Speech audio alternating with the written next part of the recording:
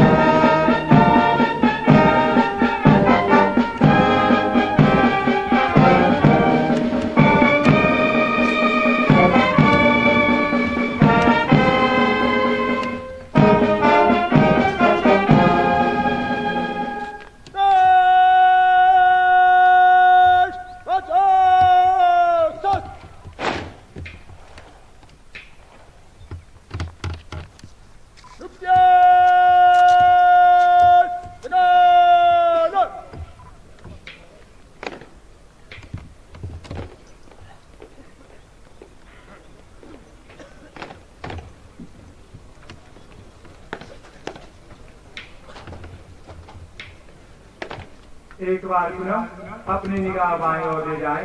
आप पाएँगे संविधान चोरी। इस चोरी में शामिल हैं उप निरीक्षक विकास कुमार उप निरीक्षक रतन लाल उप निरीक्षक सत्येंद्र कुमार। संविधान चोरी अपने हाथों में भारतीय संविधान की लिए हुए हैं। जिन्हें साक्षी मानकर आज ये नवारक्षक शपथ लेंगे कि वे भारतीय संविधान के प्रति पूर्ण निष्ठावान ईमानदार और वफादार रहेंगे।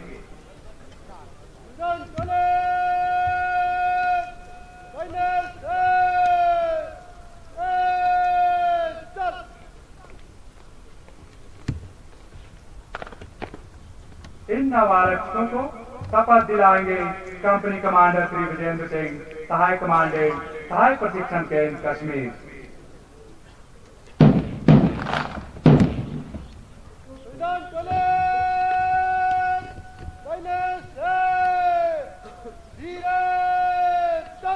भारत माता की शपथ लेकर प्रतिज्ञा करता हूँ? कि मैं विधि द्वारा निश्चित किए हुए भारत के संविधान की सच्चे मन से सेवा करूँगा। और मैं भारत के सीमा सुरक्षा बल में ईमानदारी और सच्चे मन से वफादार